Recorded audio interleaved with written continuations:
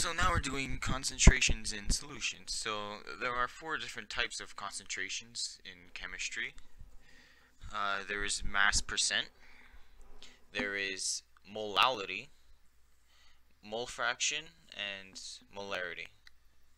So mass percent is the grams of a solute divided by the grams of a solution multiplied by 100%.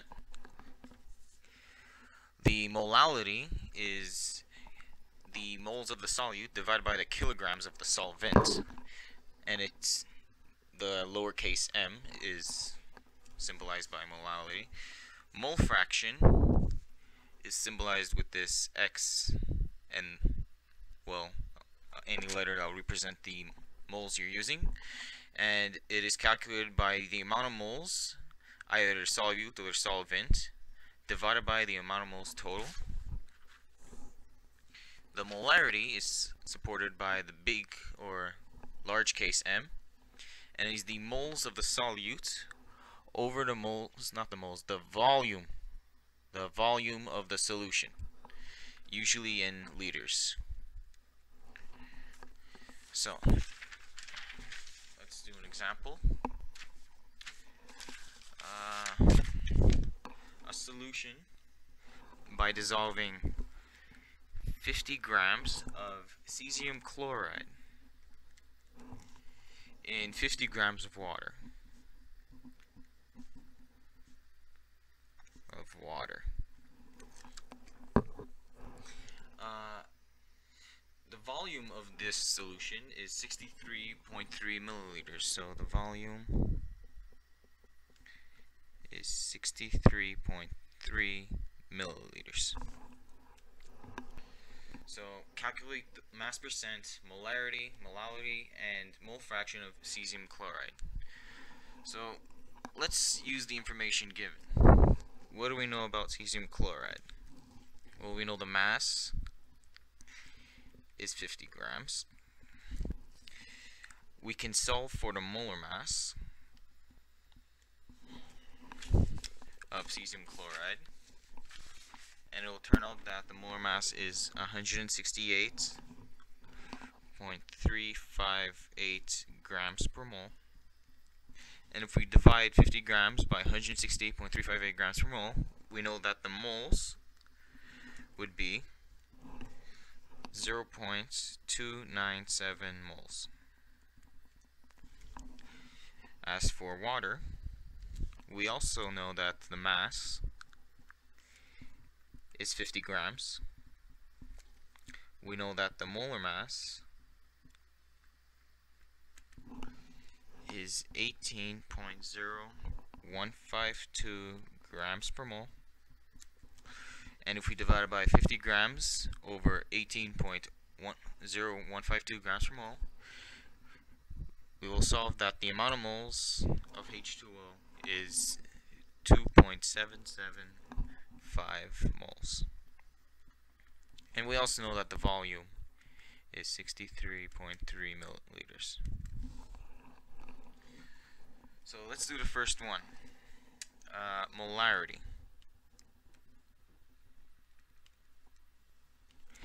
So how do we calculate molarity? Molarity is determined by the amount of moles of the solute over the volume of the solution.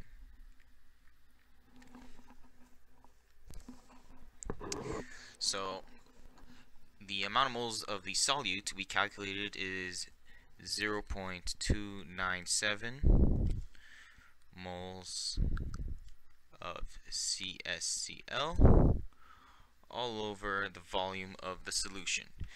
We know the volume of the solution is 63.3 milliliters over here. But usually we calculate it in liters. So 63.3 milliliters divided by 1000 gives us 0 0.063. Ah, I'm running out of room, so I'm going to write it here.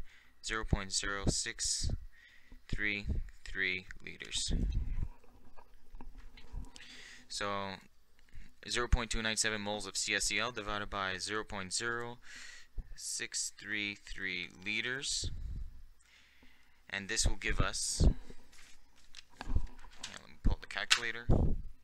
0.297 divided by 0.0633 this will give us a molarity of 4.692 uh, moles per liter. Now let's do molality.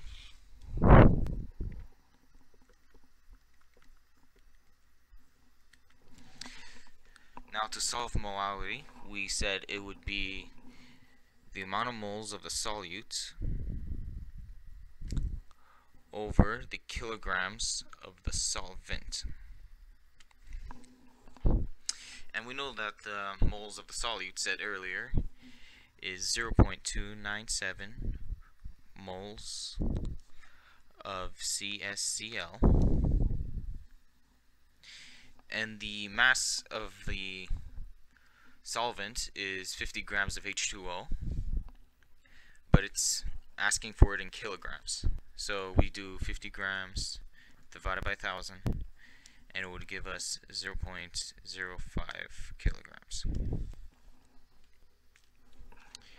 So 0.297 moles of CSCl divided by 0.05 kilograms of H2O. Let's pull the calculator. 0.297 divided by 0.05. This will give us 5.94 moles per kilogram. Next will be mass percent.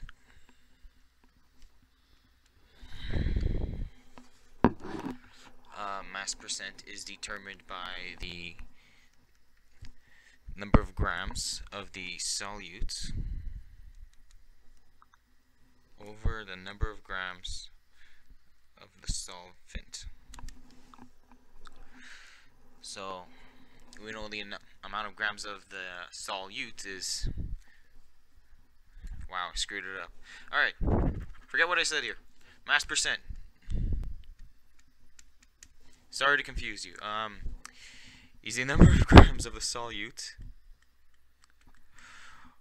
over the number of grams of the solution, not the solvent, the solution. So we know the amount of grams of the solute is 50 grams of CSCl. And the solution is 50 grams of water plus 50 grams of CSCl. Which would give us a total gram of uh, 100. So this will give us um, 0 0.5 and we have to multiply this by 100% and this will give us 50% and last but not least the mole fraction. Mole fraction is determined by the amount of moles of a substance over the total amount of moles. And we're asked to solve the amount of moles of CSCl or the solute CSCl. So we're going to use this as the solute. And uh, we solve for the amount of CSCl, it's 0.297. So 0.297 moles of CSCl over the total amount of moles. So it's 0.297 moles plus 2.775 moles of H2O. So 2.775 moles of H2O. Now let's pull out the calculator. For the denominator,